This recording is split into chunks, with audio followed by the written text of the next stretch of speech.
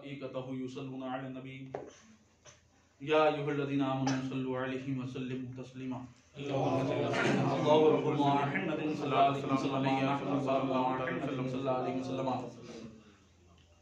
अल्लाहु की तौफीक से ये दरस मसनवी की अठारहवीं नशिस्त है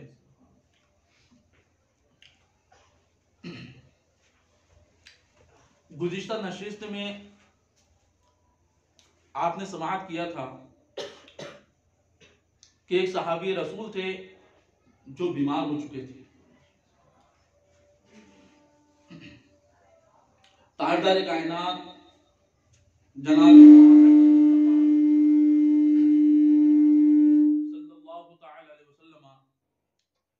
उस बीमार सहाबी की आयादत के लिए, उस बीमार सहाबी को देखने के लिए तशरीफ़ ले गए। तो अल्लामा रूमी रहमतुल्लाह अलैह ने इस हदीस पाक के जिम्न में इस बात को बयान फरमाया था कि अगर कोई किसी बीमार को देखने जाता है तो हो सकता है कि वो बीमार जो है कोई कुतुब हो, कोई अल्लाह का वली हो, कोई महबूब इलाही हो। तो तुम अगर किसी की आयादत के लिए जाते हो और वो अगर महबूब इलाही है तो समझना कि आपका बेड़ा पार हो चुका है।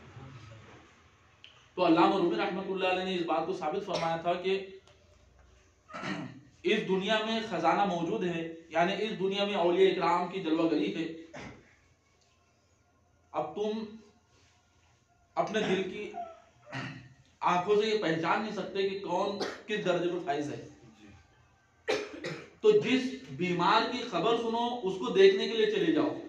हो सकता है इतने बीमारों के बीच में आपको किसी ना किसी अल्लाह के वली से वास्ता पड़ जाए और किसी अल्लाह के वली का दीदार हो जाए। और जिससे आपका मुकद्दर सवर जाए। तो आइए अब इसी बात को आगे बढ़ाते हुए इस किस्से को मुकम्मल करते हैं। कि अल्लाह के रसूल सलाम वो बीमार सहाबी को देखने के लिए तशरीफ़ ले गए, आपने उस सहाबी की आयादत फरमाई। आगे जनाब रूमी अलैह लिखते हैं, चू आयादत रफ्त पैगंबर बदीद आ सहाबी राके दर नज़र रसीद। जब अल्लाह के रसूल सलाम वो सहाबी रसूल अपने सहाबी के पास पहुँचे तो अल्लाह के रसूल सलाम ने देखा कि वो सहाबी वो हालत नज़ा में है। वो हालत नज़ा में है। यानी करीबुल मर्ग है, कि बस जान जिसमें से निकलने ही वाली थी, कि अल्लाह के रसूल सलाम वहाँ तशरीफ़ लेके पहुँचे। जब अल्लाह के रसूल सलाम तस्लीम वहाँ पहुँचे, चू पैगंबर दीन आ बीमार, खुश नवाजिश कर्द यार गारे रहा जब अल्लाह के रसूल सलाम वहाँ तशरीफ़ ले गए और आपने उस बीमार सिहाबी को मुलाहिजा फरमाया तो आप सलात तस्लीम ने उस सच्चे सिहाबी पर खूब नवाजिश फरमाई। खुश नवाजिश रहा। यानी अपने सच्चे सिहाबी पर अपने सच्चे दोस्त पर अल्लाह के रसूल इस्लाम ने बेशुमार नवाजिश फरमाई। अब जब अल्लाह के रसूल इस्लाम की नवाजिश हो, और सबसे अहम बात तो यह है कि जो मुख्तार कुल है, वो उस सहाबी रसूल के दरवाजे पर उनको देखने के लिए पहुँचे, यही उनका सबसे बड़ा मुकद्दर है। और पहुँचना तो अलग बात है। हुजूर वहाँ पहुँचे भी, और अल्लाह के रसूल ने उन पर नवाजिश भी फरमाई। अब नवाजिश कैसी हुई? फरमाते ज़िंदा शुद्ध ऊंचू बदीर वो सहाबी रसूल ने देखा कि सैयदुल अबरार सैयदुल मुरसलिन जलवा फरमा हुए। तो वो सहाबी रसूल जो हालत मर्ग में थे बस उनकी जान निकलने वाली थी वो वापस ज़िंदा हो गए। वजह रसूल देखा चेहरा मुस्तफ़ा देखा। और दोनों आलम जिसके जो है तो मोहताज है जिस बारगाह के। और दोनों आलम जो है तो उनकी रजा चाहते हैं ऐसे पैम्बर जिनको देखने के लिए पहुँचे। और वो हालत मर्ग में है। जब उन्होंने वजह रसूल देखा, रुखे मुस्तफ़ा देखा, फ़ौरन ज़िंदा हो गए। जनाब रूबी लिखते हैं, ज़िंदा शुरू जो पैगंबर रहा बनी। हुजूर को देखा तो उनकी जान में और जान पैदा हो गई। ज़िंदा हो गए। गोया आमदम मरपूरा आफरी और और जैसे ही पैगंबर सलाम को देखा तो वो सिहाबी रसूल वापस ज़िंदा हो गए और फिर जो है तो बड़ी खुशी का उन्होंने इजहार फरमाया कि अय अल्लाह के रसूल सलाम आप हमारे गरीब खाने को तशरीफ़ लाए आपकी जलवा फरमाई है गुफ्त बीमारे मरा ई बहसदाद कामद ई सुल्ता बरमन बा हमदाद। अब वो जो सहाबी रसूल थे उनका भी इश्क देखो।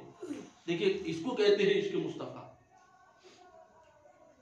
वो सहाबी रसूल कहने लगे गुफ्त बीमारे मरा ई बहसदाद वो सहाबी रसूल कहने लगे या रसूल अल्लाह सल्लल्लाहु अलैहि वसल्लम सुभान अल्लाह मेरी ये बीमारी तो बड़ी नसीब वाली बीमारी है कि जिस बीमारी की वजह से सुल्तान दो जहाँ मेरे घर तशरीफ़ ले आए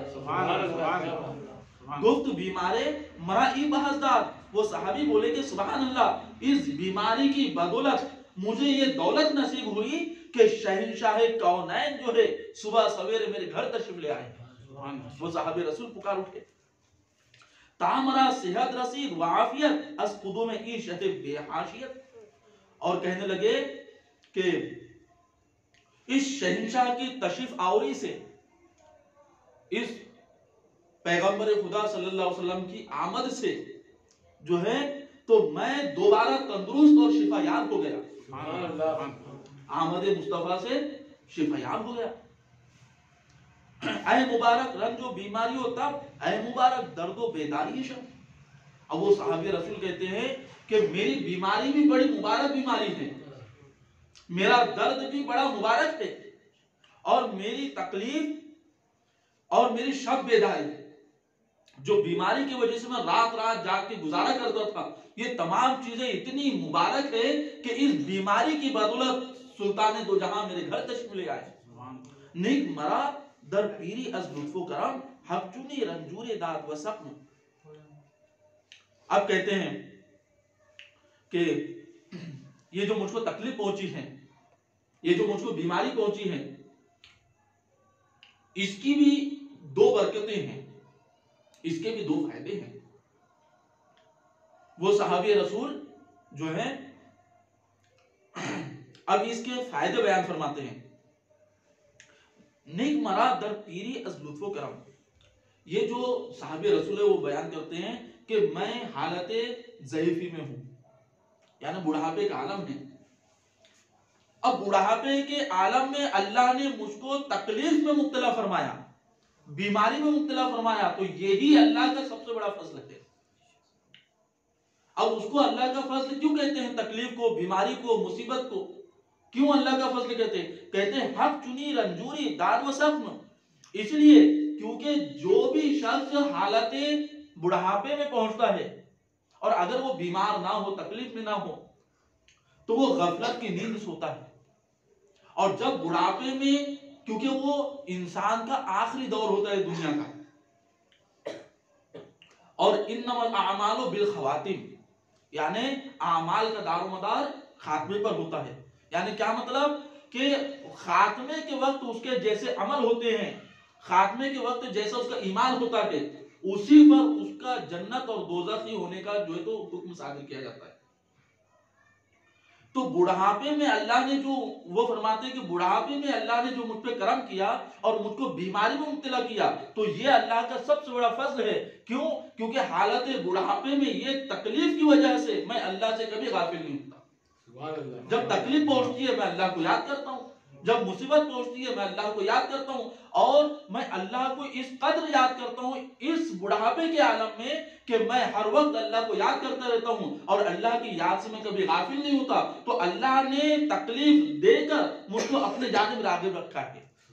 तो फरमाते बीमारी का सबसे बड़ा फ़ायदा ये है कि जब भी अल्लाह किसी को अपने जानब रागिब करना चाहता है अल्लाह अपनी जानब खींचना चाहता है तो अल्लाह उसको तकलीफ़ में बीमारी में मुसीबत में मुबतला फरमा देता है। किताबों में है। सैयदना इमाम गजाली रदी अल्लाह अन्हु में तहरीर फरमाते हैं कि जिस किसी को 40 दिनों में अगर कोई तकलीफ़ ना पहुँचे, कोई बीमारी नहीं आई, कोई गम नहीं पहुँचा, कोई मुसीबत नहीं आई, कांटा तक ना चुभा, चालीस दिन में अगर उसको कोई तकलीफ़ ना पहुँचे तो समझ जाना कि अल्लाह ताला उससे नाराज़ है। समझना कि अल्लाह उससे नाराज़ है।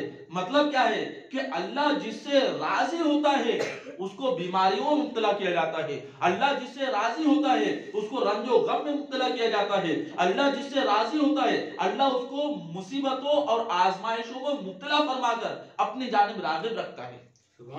यह अल्लाह का फजल है।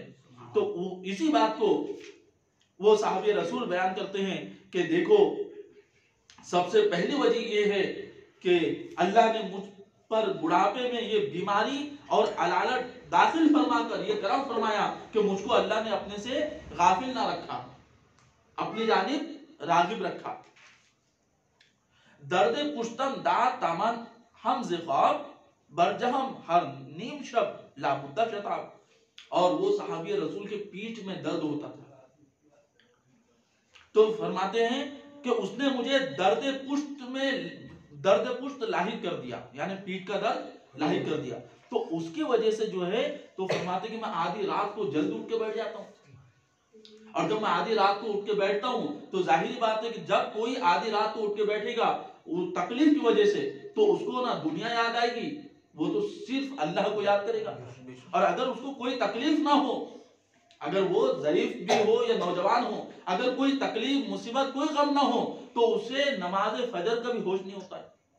कि अजान कब हो रही है, नमाज़ कब हो रही है, जमात कब हो रही है। जब तकलीफ़ होती है तो बंदा नमाज़ के वक्त क्या आधी रात को उठ के बैठ जाता है? तो आधी रात को उठ के बैठना और अल्लाह को याद करना इस बात की अलामत है कि अल्लाह ने उसको तकलीफ़ में मुबतला फरमाकर अपनी जानब रागे फरमाया। रगबत अता फरमा दी है। ताना खुशपम जुमला शब्द चू गाँव में दर्दहा बख्शीद रब अज लुत्फ खेश। कुर्बान जाइए सिहाब रसूल के इस पैगाम पर। आप लिखते हैं कि अल्लाह ने मेरे पीठ में दर्द इसलिए पैदा फरमाया। अल्लाह ने मुझको तकलीफ़ में इसलिए मुब्तला फरमाया फरमाया, क्योंकि मैं सारी रात जो है भैंस की तरह बद होश होकर सोए ना पड़े रहूँ। मैं सारी रात सोया ना रहूँ, इसलिए अल्लाह ने मुझको तकलीफ़ में मुब्तला फरमाया। दर्द हा बख्शीद रब अज लुत्फ खेश। अल्लाह ने जो मुझको दर्द दिया है, वो अपने लुत्फ करम से अदा फरमाया। देखिए, ये तकलीफ़ को भी अल्लाह का जो इनको तकलीफ़ पहुँच रही है, उस तकलीफ़ को भी अल्लाह का लुत्फ करम जो है तो इसको शुमार करते हैं। तो पता ये चला, अहले कमाल, अहलुल्लाह का ये तरीका रहा है कि वो लोग मुसीबतों, तकलीफों और आजमाइशों को, ये कोई तकलीफ़ नहीं शुमार करते, बल्कि इससे ये लोग ये मतलब समझते हैं कि अल्लाह ने हमको पसंद फरमाया, इसलिए मुसीबत में मुबतला फरमाया।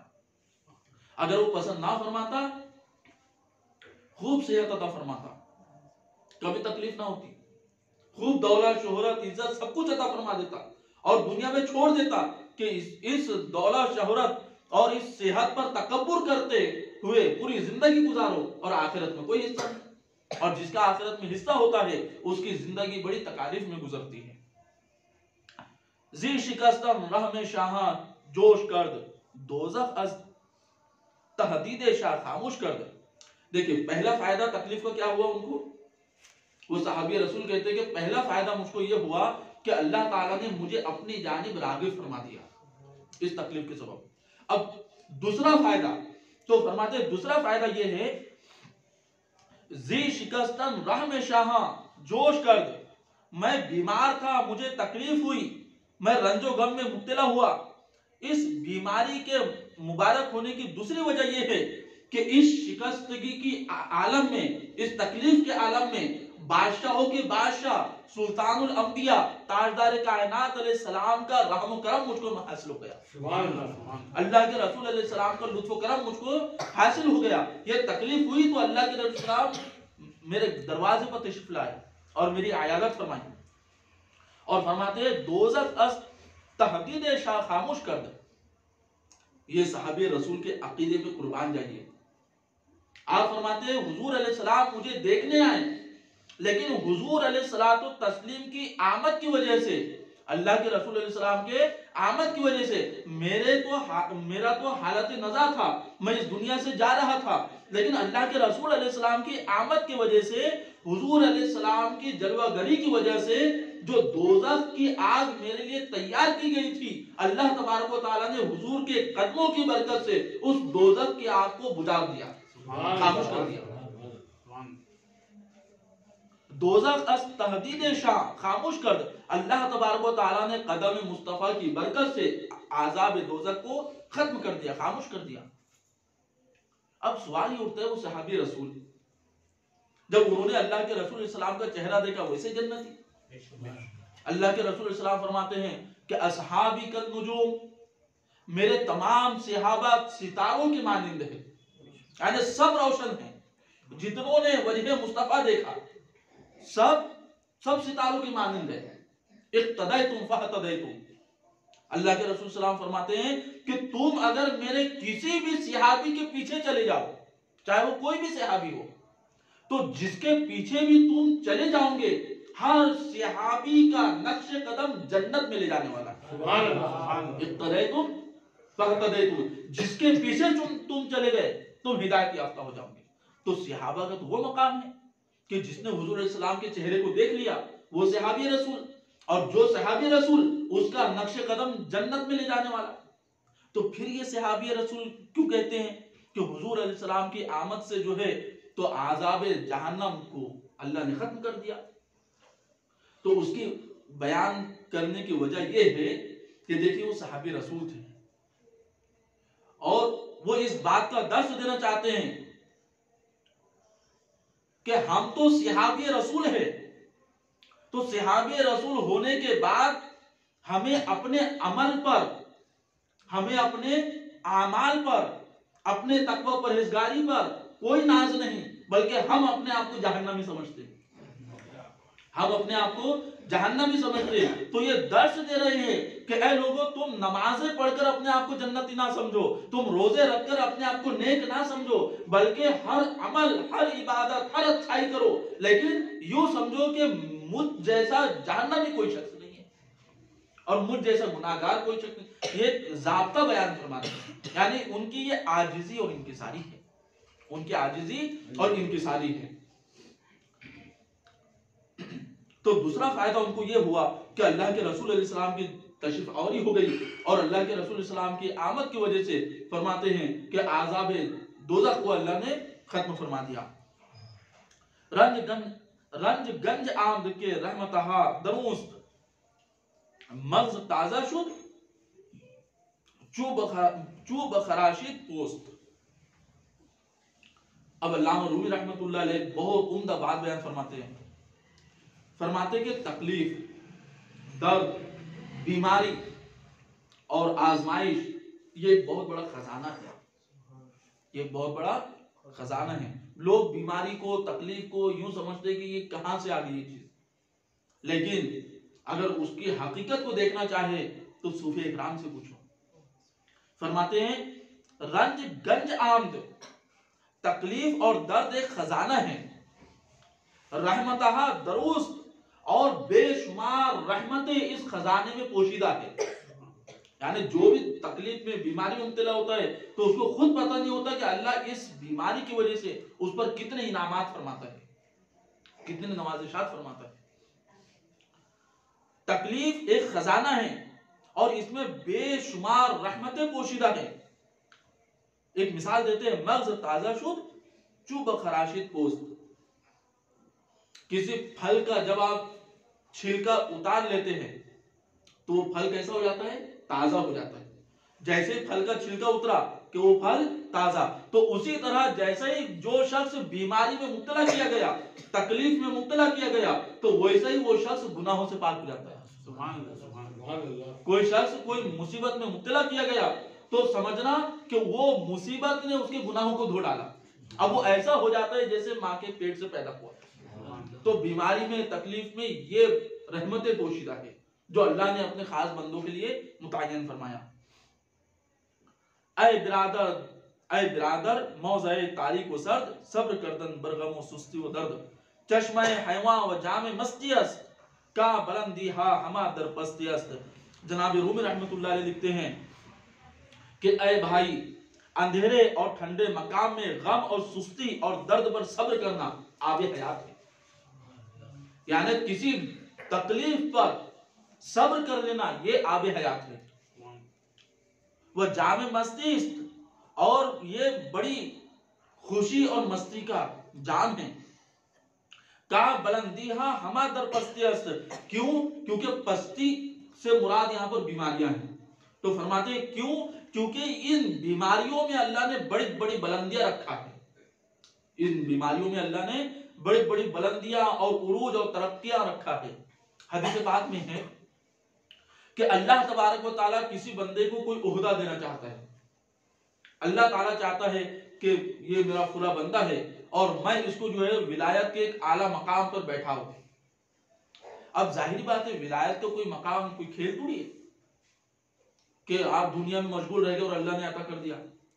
किसी भी मकाम को हासिल करने के लिए मुजाहिदात, इबादत और जो है तो बड़ी जद्दोजहद कोशिशें करना पड़ता है। अब सरकार गौसे आज़म रज़ी अल्लाह का हम नाम तो लेते हैं, लेकिन आपको पता है, सरकार गौसे आज़म रज़ी अल्लाह तु ने कितने मुजाहिदात फरमाए। आप तहरीर फरमाते हैं कि 25 साल तक मैं इराक के जंगलों में घूमता रहा 25 साल तक। और वो वक्त ऐसा था कि लोग ना मुझको जानते थे और ना मैं लोगों को जानता था। और महीनों महीनों मैं जो है तो बगैर खाए और पिए अल्लाह की इबादत किया करता था। और कभी कभी दरख्तों के जो पत्ते गिरे हुए होते थे, वो पत्तों को खाकर बगैर पानी पिए महीनों अल्लाह की याद किया करता था। फरमाते 25 साल गुजर गए। मैंने 25 साल जो है हर रोज बाद नमाज़ ईशा एक खत्म कुरान फजर तक किया करता था। 25 साल। एक खत्म कुरान। और उसके अलावा फरमाते हैं कि जब वो हालात मुझ पर थे, इबादत और रियाजात के तो उस वक्त मुझ पर शुक्र की कैफियत तारीफ़ हो जाती थी। और जंगलों में मैं दौड़ा करता था। और कहीं दूर निकल जाया करता था, नारे बुलंद किया करता था। और जब होश आता तो मुझको पता चलता कि मैं कहीं दूर निकल चुका हूँ। यानी इस कदर उन्होंने मुजाहिदात फरमाए इबादत और रियाजात फरमाए। अल्लाह फिर ऐसे मकाम अता फरमाता है। तो अल्लाह जिसको कोई रुतबा देना चाहता है तो उसके लिए कुछ आमाल, मुजाहिदात और रियाजात भी ज़रूरी होते हैं। ठीक है? लेकिन अगर किसी बंदे के पास वैसे अमल नहीं है, अब अल्लाह उसको रुतबा देना चाहता है लेकिन उसके पास अमल नहीं है। तो हदीस बात में है कि अल्लाह तबारक उसको बीमारी में मुबतला कर देता है। अल्लाह ताला उसको तकलीफ़ में, रंज में, मुसीबत में मुबतला फरमा देता है। अब वो तकलीफ़ और मुसीबत पर सब्र करता है और जब बंदा उस पर सब्र करता है तो अल्लाह जो मकाम उसको देना चाहता था इबादत और रियाजात के ज़रिए तो अब वो मकाम उसको तकलीफ़ पर सब्र के ज़रिए अता फरमा देता है। तो पता ये चला कि बीमारियों पर सब्र तकालीफ पर सब्र जो है बंदे को आला मकाम अता कर देता है। और बंदा जो है जन्नतियों में आला मकाम पा जाता है। आ बहार आ बहारा मुजमर अंदर खजा पुर बहारस ए खजा म गुरेज अजा। आगे लिखते हैं। आ बहारा मुजमर अंदर खजा। खजा कहते हैं पतझड़ के मौसम को, कि जब पूरे पत्ते झड़कर नीचे गिरते हैं। अब यहाँ खजा से मुरादे तकलीफ़, दुनिया में जो तकलीफ़ होती है। तो फरमाते हैं, आ बहार मुजमर अंदर खजा। फरमाते हैं, आखिरत की जितनी बहारें हैं जन्नत के मरातीब जन्नत के दर्जात, आखिरत की जितनी रहमतें बहारें हैं तो सब जो है ये दुनिया की तकलीफों में पोशीदा है। यानी अगर कोई आखिरत में राहत, चैन और सुकून चाहता है तो अगर वो दुनिया में तकालीफ में मुब्तला है तो समझ जाना कि अल्लाह उसको आखिरत में बुलंद मकाम अता फरमाना चाहता है। फरमाते हैं, आ बहारा मुस्मरस्त अंदर खजा, इन तकलीफों में अल्लाह ने आखिरत की तमाम बहारों को पोशीदा रखा है। पुर बहारस ई खजा फरमाते हैं ये जो तकलीफ़ है ना ये जो तकलीफ़ ये तकलीफ़ बड़ी पुर बहार है। ये तकलीफ़ बड़ी पुर बहार है। मगुरेज अजा तो ऐ लोगों तुम तकालीफ से दूर ना भागो। तुम तकालीफ से दूर ना भागो क्योंकि इसी की वजह से अल्लाह तुमको आखिरत में जो है तो बुलंद मकाम अता फरमाने वाला है। हमरा गम बाश व बा वहशत बसाज मी तलब दर मर्ग खुद उम्र दराज फरमाते हैं कि गम की रिफाकत इख्तियार करो। यानी अगर कोई तकलीफ़ आ जाए तो उस पर अल्लाह की बारगाह में ना शुक्राना और ना जेबाना कलिमात ना कहो, बल्कि उसकी रिफाकत इख्तियार करो। रिफाकत का मतलब ये होता है, अगर तकलीफ़ आई तो अल्लाह की बारगाह में शुक्र अदा करो कि मौला, तूने तकलीफ़ दिया, तू ही शिफा देने वाला है। तेरा बंदा हूँ तूने अपना समझा तभी तो तकलीफ़ दी हमरा गम बाश वहशत बसाज यानी गम की रिफाकत इख्तियार करो और उदासी के साथ बने रहो। यानी अपने आप को जो है जो तकलीफ़ में लोग हैं उनके साथ अपने आप को रखो ताकि उनकी तकालीफ को देखकर तुम भी जो है उनकी तकालीफ को देखकर तुम भी जो है तो अल्लाह की बारगाह में गफलत से बच जाओ। यानी बताने का मकसद ये है कि जब इंसान पर कोई तकालीफ नाजिल होती है तो उससे क्या होता है? उसके आखिरत के मराते बुलंद कर दिए जाते हैं। फिर जनाब रूम रहमत वो साहबी रसूल के वाक़े की जानब जो है तो रुजू फरमाते हैं कि अल्लाह के रसूल सलाम ने उनकी, उनको देखा, आयादत फरमाई। वो साहबी रसूल बड़े खुश हुए और बारगह रिसालत में अर्ज़ किया कि या रसूल सल्लल्लाहु अलैहि वसल्लम आपकी आमद से जो है तो अल्लाह ने जहन्नम के आग को ठंडा फरमा दिया और जो है तो मेरे मरातब को बुलंद फरमा दिया। अब अल्लाह के रसूल इस्लाम वो साहबी रसूल के पास तशरीफ़ लाए और इशाद फरमाए, गुफ्त पैगंबर मरआ बीमार रहा, चू अयादत कर। यारे जार रहा के मगर नौए दुआए करदा अब जहालत जहर बाय खुद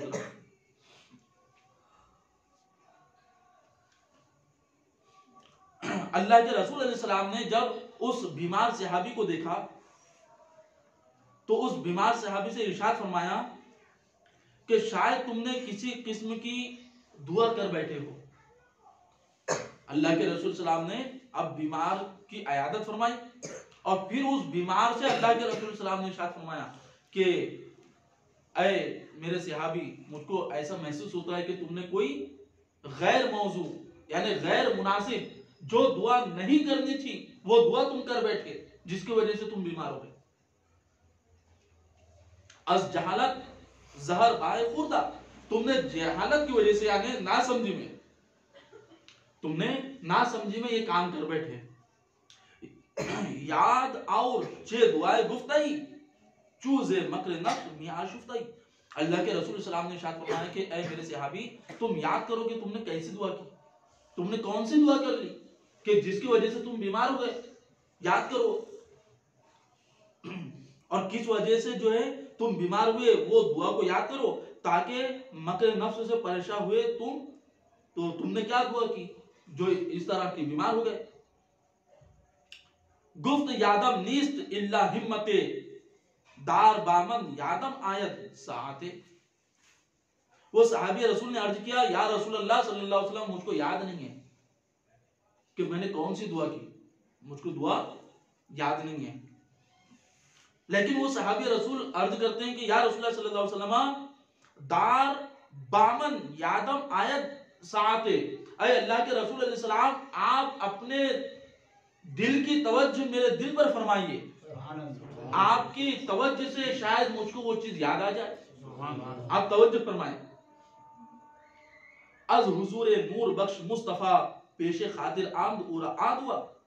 जनाब रूबी अलैह लिखते हैं कि आ हज़रत, यानी जनाब मुस्तफ़ा सल्लल्लाहु अलैहि वसल्लम की हुजूरी से जो दिलों को नूरानी बनाने वाली है, यानी हुजूर अलैहिस्सलाम की हुजूरी, हुजूर अलैहिस्सलाम की जलवागरी जो दिलों को नूरानी बनाने वाली है। पेशे खातिर आमद उरा आद हुआ। तो अल्लाह के रसूल ने ऐसी तवज्जो फरमाई कि वो सहाबी रसूल को वो दुआ याद आ गई। उनके जहन में आ गई। जब दुआ याद आई हिम्मत पैगंबर रोशन कदा पेश खातिर आमदश आगुमशुदा। जनाब रूमी रहमतुल्लाह लिखते हैं कि नूरानी खानदान में पैदा होने वाले पैगंबर की तवज्जो जब हुई तो वो फरामोश शुदा दुआ उनके दिल में आ गई। उनको याद आ गई। ताफ्त जा रूजन के अस दिल ता दिलस्त रोशनी को फ़र्क हक बातिलस्त अब यहाँ पर जनाब रूमी अलैह ये चीज़ बयान फरमाते हैं कि तवज्जो की कैफियत क्या थी? अल्लाह के रसूल सलाम ने तवज्जो फरमाई। और वो सिहाबी रसूल को याद आ गया। तो तवज्जो की कैफियत क्या थी? तो उसको फरमाते हैं कि एक उस दरीचे से जो एक दिल से दूसरे दिल की तरफ़ है। यानी एक दिल से, दिल की, दिल का जो रास्ता है, एक दिल का जो दरीचा है, खिड़की है तो वो सहाबी रसूल के दिल के दरीचे में, यानी अल्लाह के रसूल सलाम ने अपने कल्बी कैफियत, अपने कल्बी तवज्जो सहाबी रसूल के दिल पर डाली। और जब अल्लाह के रसूल सलाम ने तवज्जो फरमाई तो वो सहाबी रसूल को दुआ याद आ गई। तो पता ये चला कि तवज्जो जो है तो ये बड़ी अहम चीज़ है। ये हदीस से साबित है। और तवज्जो ऐसी चीज़ है कि जिसको हुजूर सैयदना मुजद्दिद अल-फिसानी रहमतुल्लाह अलैह ने भी बयान फरमाया। तवज्जो वो चीज़ है कि कोई कितना भी गुनाहगार हो, अगर वो सामने मौजूद हो और कोई अल्लाह का वली अगर उसे किसी बुलंद मकाम पर पहुंचाना चाहता है तो वो अपने दिल की कैफियत को पूरी ताकत के साथ, अपने दिल की कैफियत को मुकम्मल पूरी ताकत के साथ अपने सामने जो शख्स बैठा है जो मुरीद बैठा है उसके दिल पर डालता है। तो जो मकाम अल्लाह इस बुज़ुर्ग को अता फरमाता है थोड़ी ही देर में वो बुज़ुर्ग उस मकाम से उस शख्स को अता फरमा देते हैं। ये है तवज्जो। जैसे कि हुजूर सैयदना ख्वाजा बाकी मिल्ला नक्शबंदी रहमत व रिजवान जिनकी मजार मुबारक दिल्ली में है। सदर बाज़ार दिल्ली में कब्रिस्तान में हुजूर सैयदना ख्वाजा बाकी मिल्ला रहमतुल्लाह अलैहि की मजार मुबारक है जो हुजूर सैयदना इमाम रब्बानी मुजद्दिद अल-फिसानी रहमतुल्लाह अलैहि के पीर मुर्शिद है। इनका ये दस्तूर था कि जो भी मेहमान आता तो अपने हाथों से पकाते और खिलाते। इनका ये दस्तूर था। और इनके खानका में लंगर जारी रहता लोग खाते पीते रहते।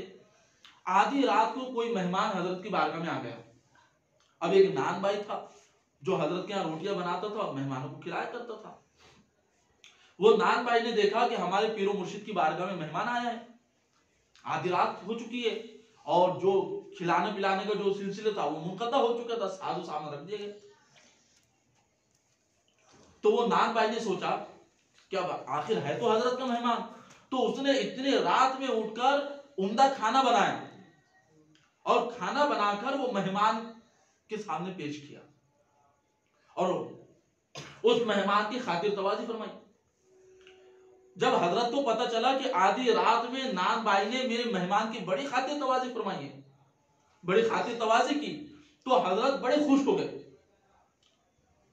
अब खाजा बाकी अलैह ने वो नान भाई को अपने पास बुलाया और इरशाद फरमाया कि, ए नान भाई, तुम मांगो जो मांगना चाहते हो, आज जो तुम मांगोगे मैं तुम्हें आता करूँगा। देखो अल्लाह तबारक व ताला अपने महबूबीन को ऐसी अजमत ऐसा कमाल अता फरमाता है कि अगर ये चाहे तो जर्रे को आफ्ताब बना दे। अल्लाह इनको ऐसा मकाम अता करता है। तो हज़रत ने इशार फरमाया तुम मांगो जो मांगना चाहते हो आज मैं तुम्हें अता करूँगा। अब वो भी नान भाई अब वो हज़रत की संगत याफ्ता हज़रत के साथ रात दिन रहने वाला। अब वो भी कोई मामूली थोड़ी। अब उसने सोचा कि क्या मांगू? दुनिया मांगना तो खत्म हो जाएगी, दौलत मांगूँगा तो खत्म हो जाएगी। बड़ा वो जो है तो तालीम याफ्ता था।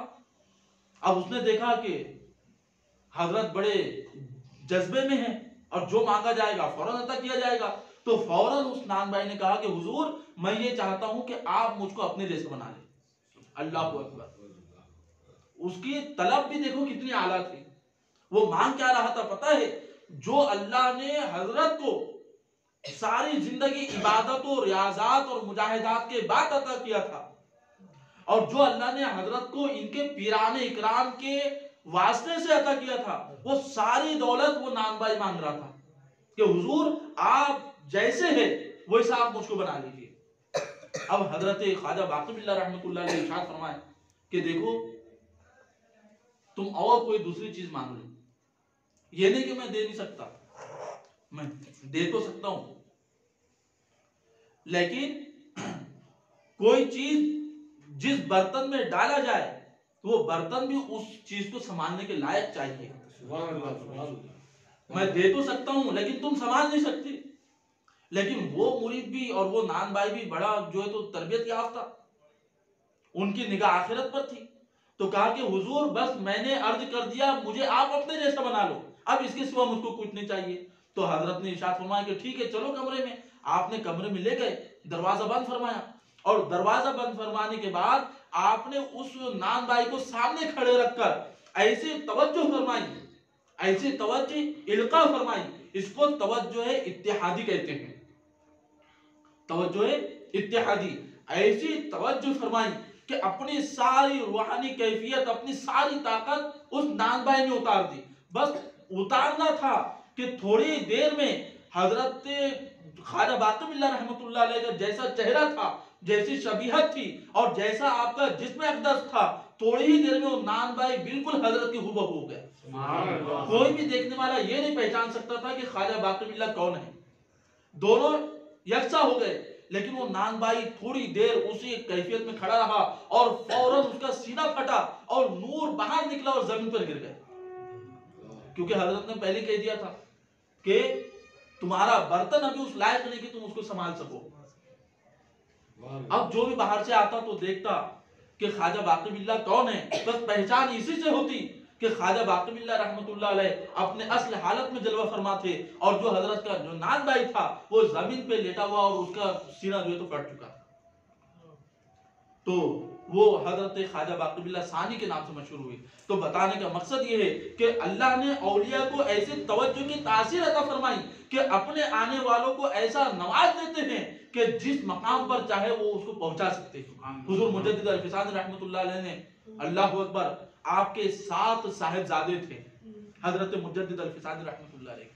तो अगर कोई साहेबजादा विलायत के पहले दर्जे पे होता तो आप ऐसी तवज्जो फरमाते कि विलायत के सबसे आखिरी दर्जे में उसको पहुँचा देते आप इस तरह तवज्जो फरमाते और उसके अलावा आपका ये तरीका था हुजूर मुजद्दिद अल-फिसानी रहमतुल्लाह अलैह सिलसिला नक्शबंद के अकाबिरीन में गुजरे हैं कि आप देखिए सबका ताल्लुक होता है जिंदों से। कोई शख्स ज़िंदा आया मुरीद होना चाहता उसको मुरीद कर लिया। कोई शख्स आया कि हुजूर कोई मकाम अता कीजिए खुश हो गए कुछ अता कर दिया। लेकिन आपका ये तरीका था कि अगर किसी का इंतकाल हो जाता और उसका जनाजा भी उसके सामने लाया जाता हज़रत अल-फिसानी के सामने तो आप उस मुर्दा शख्स पे तवज्जो फरमा के उसको भी दर्जे अता फरमाते ये भी कमाल की बात है। एक शख्स आया कि हुजूर मेरे वालिद मोहतरम का विशाल हो गया और जनाजा तैयार है आप जो है तो तवज्जो फरमाए। तो आपने इशाद फरमाया लाओ करीब। आपके सामने जनाजा रखा गया थोड़ी देर आपने वो जनाजे को सामने रखा और उसके बाद इशाद फरमाया कि तुम देख लोगे आप, ले जाओ। ले जाया गया, जनाजा दफन कर दिया गया। अब वो बच्चा, वो नौजवान, उस शख्स का बेटा घर गया और सो गया। रात में ख्वाब में क्या देखता है कि एक मजलिस लगी हुई है और हुजूर मुजद्दिद अल-फिसानी रहमतुल्लाह अलैह उस मजलिस में एक मेंबर पे जलवा फरमा है और उसके वालिद जो है, हज़रत के करीब में जो है तो बैठे हुए थे। तो हज़रत ने बयान फरमा दिया कि कोई शख्स अगर इंतकाल होकर भी हज़रत की बारगाह में लाया जाता तो हज़रत उस पर भी तवज्जो फरमा के उसको अपने मुरीदी में दाखिल फरमा देते। तो ये हुजूर मुजद्दिद अल-फिसानी रहमतुल्लाह अलैह का तरीका रहा तो बताने का मकसद ये है कि तवज्जो ऐसी चीज़ है कि जिसका इनकार नहीं किया जाता। और औलिया इकराम ऐसे बुलंद पाया होते हैं कि औलिया इकराम इंतकाल के बाद भी अपने मजारात से भी तवज्जो फरमाते हैं। ये भी अहम बात है। इसीलिए कुतुब विलौर रहमतुल्लाह अलैह फरमाते हैं औलिया चे दर हालत हयात व चे दर हालत ममात। औलिया इकराम चाहे ज़िंदा हो या औलिया इकराम का इंतकाल हो चुका हो वो चे दर हालत नायब बेदारी अगर औलिया इकराम बेदार हो या औलिया इकराम में से कोई सोया हुआ हो उनको नींद लगी हो वो चे दर हालत कुर्ब बोध या औलिया इकराम तुमसे करीब हो। या औलिया इकराम तुमसे दूर हो। जैसी भी हालत हो, चाहे वो हयात हो या उनका इंतकाल हो चुका हो, चाहे वो तुम्हारे करीब हो या तुमसे दूर हो, चाहे वो बेदार हो या वो हालत नींद में हो फैज में रसानंद फैज में रसानंद हर हाल में औलिया इकराम लोगों को फ़ायदे पहुँचाया करते तो पता ये चला कि अगर आप किसी बुज़ुर्ग की बारगाह में जाते हैं बड़ी अकीदत मोहब्बत देखिए वहाँ मोहब्बत चाहिए। सिलसिले नक्शबंद के औलिया इकराम ने लिखा है कि मजारात तो बेशुमार हैं हर जगह औलिया इकराम मौजूद है। और हर औलिया इकराम अपनी बारगाहों से फैज पहुँचाया करते हैं। लेकिन फरमाते हैं कि जिस बारगाह में जिस कद्र उनसे मोहब्बत करने वाला जाता है तो उस मोहब्बत के एतबार से उस बारगाह से उसको फैज मिला करता है। अगर कोई सरकार ताजुल औलिया रहमतुल्लाह अलैह का चाहने वाला है अब अगर वो उस बारगाह में जाएगा तो जितनी बारगाहों में जाएगा उतना उसको फ़ायदा नहीं पहुंचेगा जितना सरकार ताजुल औलिया की बारगाह से उसको फ़ायदा पहुंचेगा। क्यों? क्योंकि उसकी कलबी मोहब्बत हज़रत की बारगाह से तो औलिया इकराम हालत विशाल के बाद भी अपने कब्रों से तवज्जो फरमाया करते इसलिए औलिया इकराम की बारगाह में आते जाते रहना चाहिए। कब इनकी बारगाह से आप पर कर्म हो जाए और कब ये जो है आपके दिल की दुनिया को पलट दे। और बुज़ुर्गों ने तो यहाँ तक लिखा है कि अल्लाह तबारक ये इकराम को वो तासीर अता करता है कि अगर ये चाहे तो ऐसे तवज्जो फरमाते हैं कि गुनाहों को मिटाकर गुनाहों की जगह नेकियाँ दाखिल फरमा देते हैं। और ये इकराम की निगाहों में ताकत अता फरमाता है। तो औलिया इकराम की बारगाहों से कभी दूर नहीं होना और इनके मजारात पर जब जाओ तो इस कदर अदब एहतराम और इस कदर आजिज इंकसारी करो। हज़रत गुलाम नबी शाह साहब रहमतुल्लाह जो सिलसिले नक्शबंद के बड़े जो है बुज़ुर्गों में गुजरे हैं और जिनकी मजार मुबारक दिल्ली में खानका अबुल खैर में आप लिखते हैं कि जब भी किसी अल्लाह के वली की बारगाह में जाओ तो अपने आप को एकदम गिरा हुआ और आजिज इनके सारी से पेश करो। यूँ अर्ज़ करो कि, हुजूर, मेरे पास ना दुनिया है, ना आखिरत है। मेरे पास कुछ भी नहीं है। बस मैं आपकी मोहब्बत में आपके पास आया हूँ। आप फरमाते हैं, जो शख्स औलिया की बारगाह में जाकर अपने आप को जितना नीचे गिराएगा वो अल्लाह का वली उस कदर उस पर रहम फरमा के उसके मकाम को बढ़ा देता है। ये मेरी अपनी बातें नहीं है बल्कि जो हमारे अकाबरीन ने सिलसिले नक्शबंद के औलिया इकराम ने जिसको बयान किया वो बात बयान कर रहा हूँ। तो बताने का मकसद ये है कि तवज्जो से जो है वो मकाम बड़े बुलंद हो जाया करते हैं। गुफ्त इनक यादम आमद ए रसूल आप हुआ कि गुफ्ता अज फजुल वो सहाबी रसूल बोल उठे कि या रसूल अल्लाह सल्लल्लाहु अलैहि वसल्लम लीजिए, मुझे वो दुआ याद आ गई। जो मैंने अज राह बेहूदगी की थी, यानी मैंने गलती से वो दुआ कर ली थी, वो दुआ याद आ गई। अब वो दुआ किस तरह कर ली थी उन्होंने? तब वो बयान करते हैं वो साहब रसूल। कहते हैं, जो गिरफ़्तार गुनामी आम हम जो घर का दस्त व पाए में जदम फरमाते हैं कि जब भी मैं किसी गुनाह में मुब्तला होता था, वो साहबी रसूल कहते हैं जब भी मैं किसी गुनाह में मुब्तला होता था तो डूबने वाले की तरह हाथ पाँव मारा करता था। जैसे डूबने वाला हाथ पाँव मारता है ना तो वैसे कहते हैं, मैं भी, मुझसे भी जब कोई गुना हो जाता था तो मैं हाथ पैर मारा करता था। पुरगुना बाप कशाइश मीजनत, घर का दस अंदर हशाइश मीजनत। कहते हैं कि कायदा ये है कि जो शख्स गुनाह में मुब्तला होता है तो वो नजात का रास्ता ढूंढता है। जिस तरह डूबने वाला तिनका ढूंढा करता है घास का तो उसी तरह गुनाह में मुब्तला जो शख्स होता है वो नजात का रास्ता ढूंढता है। तो कहते हैं, अस्तु तहदीद वो वईद मीरसिद मुजरे मारा अजाब आजाबात शदीद। या रसूल अल्लाह सल्लल्लाहु अलैहि वसल्लम, देखिए वो सहाबी रसूल जो है, वो दुआ जो उन्होंने कर ली थी, वो किस वजह से दुआ की थी, वो वजह बयान कर रहे कहते कि, या रसूलुल्लाह सल्लल्लाहु अलैहि वसल्लम, मैं आपकी बारगाह में हाजिर हुआ करता था। तो आप आखिरत के आजाब के मुतालिक बयान फरमाते थे कि अल्लाह ने आखिरत में फुला फुला आजाब तैयार रखा है। जो ये गुना करेंगे, अल्लाह उसको यह आजाब देगा। तो आपसे मैं मुजरिमों पर आजाब के मुतालिक सुना करता था। जब मैं सुनता था तो मेरे दिल में बेचैनी पैदा होती थी कि मैं आखिरत के आजाब को कैसे बर्दाश्त करूँगा। मुस्तरीब, मिगश्तम व चारा नबूद, बंदे मोहकमबूद व किफले नशूद कहते हैं कि जब मैं वो मुजरिमों की सजा को सुनता था, गुनाहगारों को जो सजा दी जाएँगी उसके मुतालिक सुनता था तो फरमाते मैं बेकरार हो जाता था और ना कोई मुझको चारा सूझता था। और एक मज़बूत कैद थी और ना खुलने वाला किफल था। यानी मैं बड़ा परेशान हो चुका था कि इधर गुनाह से जो है, गुनाह की वजह से वो आजाब के मुतालिक सुनकर बड़ा बेचैन हो जाता था तो बड़ा परेशान होता था। कहते हैं कि ने मकाम सब्र व ने राह गुरेज ने उम्मीद तौबा ने जाए सतीस कहते हैं, ना सब्र का मकाम और ना भागने का रास्ता, ना तौबा कबूल होने की उम्मीद, ना झगड़े की जगह। यानी हर चीज़ में ना उम्मीद हो चुका था। जब मैं आपकी बारगाह में रहकर आखिरत के आजाब के मुतालिक सुनता तो मैं बड़ा बेकरार हो जाता कि मेरी नजात कैसी होगी। चू हारुत चू मारुत, अज हुस्न, आमी गर्दम के ए खल्लाक मन। तो देखिए, हारुत और मारुत, ये दो फरिश्ते थे। ये दो फरिश्तों ने इंसानों को देखा कि इंसान गुनाहों में मुलविस है, गुनाह में मुबतला है। तो इन दोनों फरिश्तों ने अल्लाह की बारगाह में कहा कि, मौला, ये इंसान तूने पैदा कर दिए, ये इंसान कैसे गुनाह में मुबतला हो जाते हैं? जिनको तूने अशरफुल मखलूकात बनाया, ये कैसे गुनाह करते हैं? रब कदीर, तू हमको दुनिया में भेज। और हम दुनिया में जाएँगे तो हम ऐसे कोई गुनाह ना करेंगे। तो अल्लाह तबारक ने उनको दुनिया में उतारा। और जो नफ्स अल्लाह ने इंसान को अता किया, क्योंकि फरिश्ते तो मुनस्सा है, पाक है। वो कोई गुनाह भी नहीं करते और वो सब पाक है खाने पीने से। तो जो नफ्स अल्लाह ने इंसान को अता किया, वो नफ्स वो फरिश्तों को अता किया।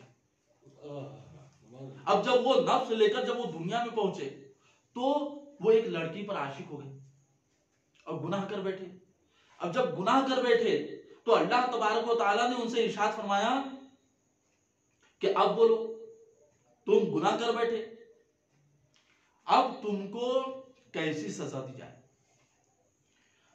अब तुम दुनिया में सजा भुगतने के लिए तैयार हो कि आखिरत में?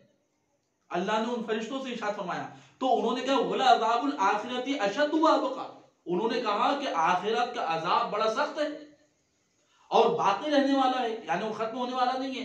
तो वो फरिश्तों ने कहा कि रब कदीर हमको तो दुनिया में आजाब में मुबतला कर दे। तो एक कुआँ है वो कुएँ में धुआँ भरा हुआ है। उस कुएँ में वो फरिश्तों को लटका दिया गया। और वो कयामत तक उसी में लटके में तो वो फरिश्तों को दुनिया के आजाब में मुबतला कर दिया गया। और आखिरत के आजाब से बचा लिया गया, उनको इख्तियार दिया गया था कि तुम दुनिया के आजाब तकलीफ़ बर्दाश्त करो कि आखिरत की। तो उन्होंने दुनिया की बर्दाश्त की।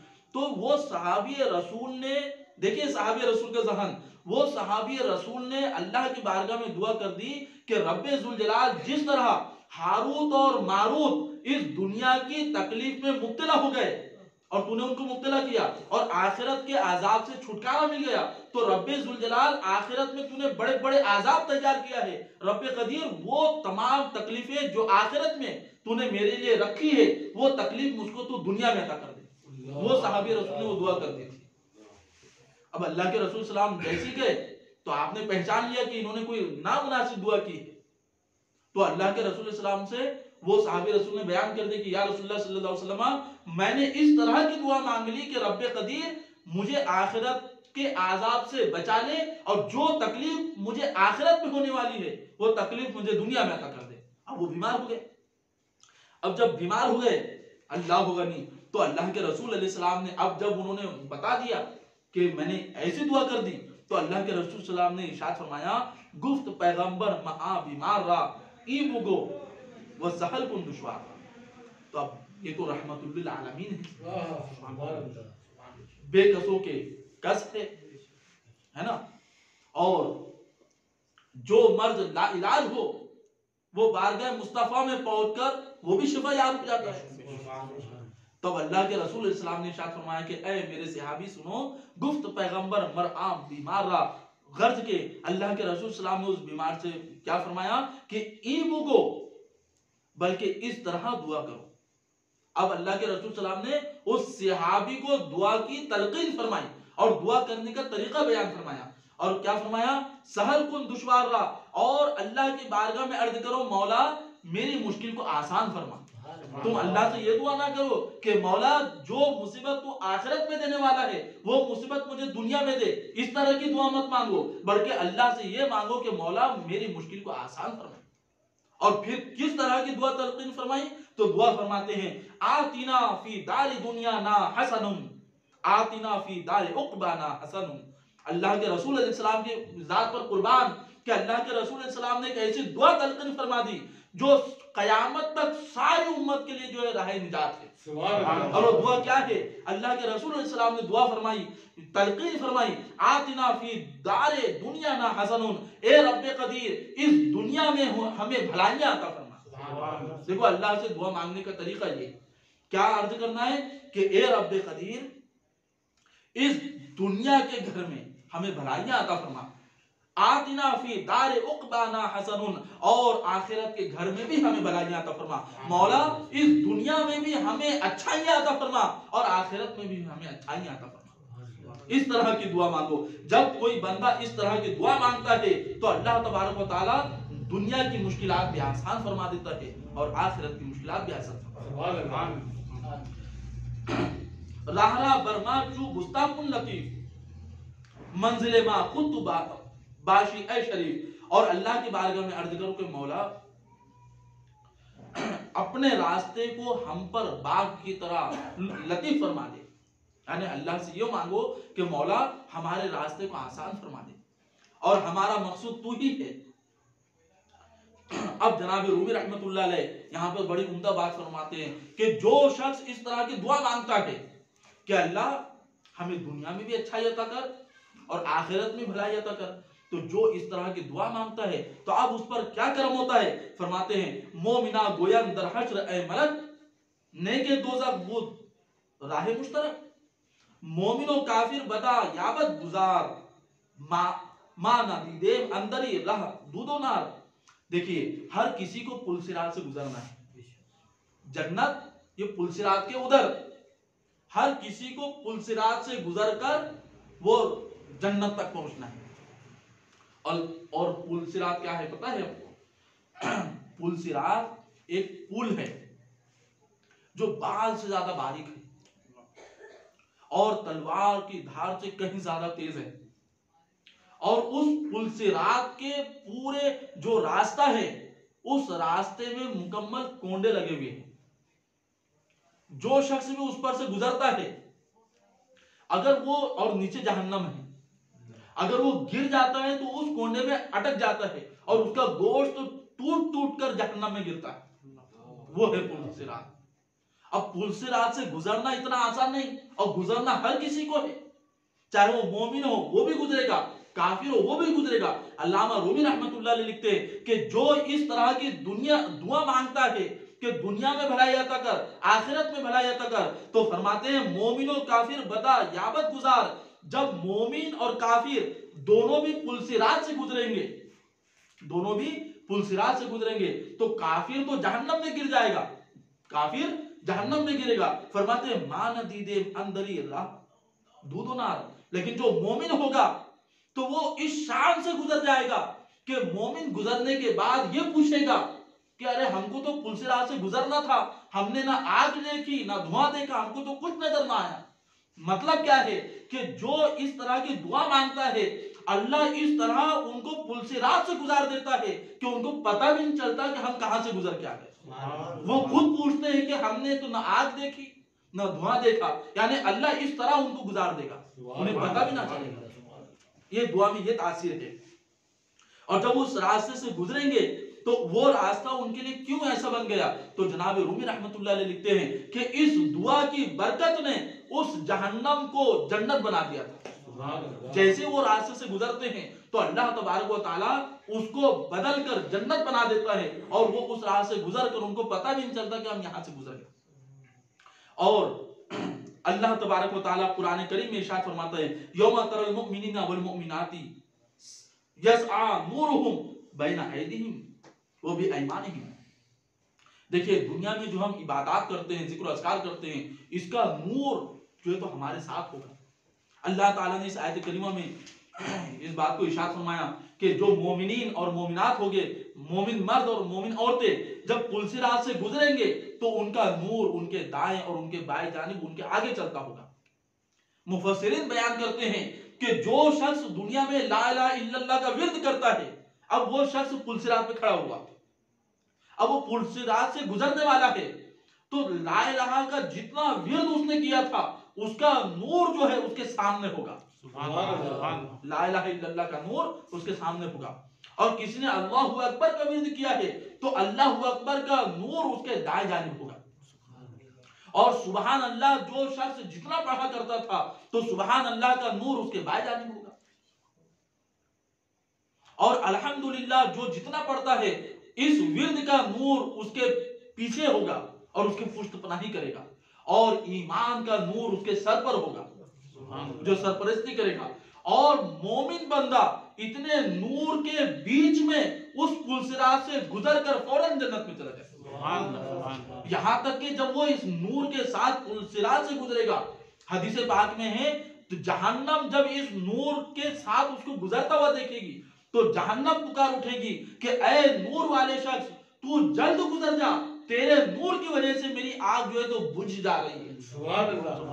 यानी ज़िक्र इलाही के नूर में ऐसी तासीर होती है कि जहन्नम पर सभी भी वो शख्स गुजर रहा है तो उस नूर की वजह से वो जहन्नम की आग भी पनाह मांगती है कि ए नूर वाले तू जल्द गुजर जा। तेरी वजह से मेरी आग में ठंडक पैदा हो रही है। यानी जो शख्स अपने ज़ुबान से सुबहान अल्लाह का विरद करता है अल्हम्दुलिल्लाह पढ़ता है अल्लाह अकबर पढ़ता है और कलमा तैयबा का विरद करता है ये तमाम अनवारात जमा होकर बरोजे महशर पुल सिरात में उसके लिए गुजरने के लिए बड़ी आसानी होगी। निक बहश तो वो बारगाह ऐ मनी बस कुजा बुद आँख गुजरगाह दनी यानी वो जो मकाम था जहन्नम का उस मकाम को अल्लाह ने इस दुआ की वजह से जन्नत बना दिया। इस इस दुआ की वजह से जन्नत बना दिया।